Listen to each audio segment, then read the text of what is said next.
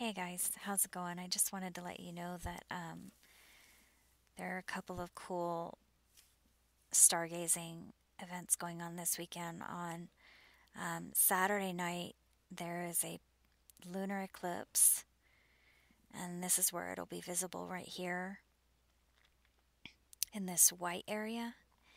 And that's happening at 4:09 UTC time. So if you go to World Time Zone, I'll leave a link below. Um, this is UTC time right here. So if it's 4:09 a.m. here, it would be 12 a.m. in New York, for example. So you can find your time zone there. And um, I guess this is what it's going to look like. It's a penumbral eclipse. So that's on Saturday, Saturday night. And then on Sunday evening,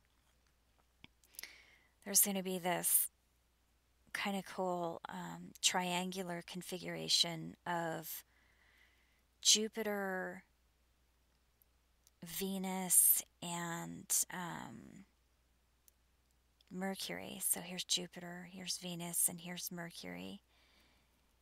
And um, just to give you a reference here, this is kind of cool. It's happening right exactly in the center of the horns of Taurus. So that's kind of wild. And it'll happen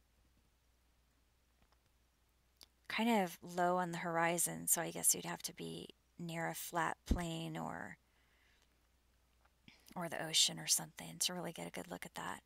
But anyway, um, something to check out. And um, I just wanted to let you guys know I hope you have a great weekend. And I'll talk to you later. Okay, bye bye.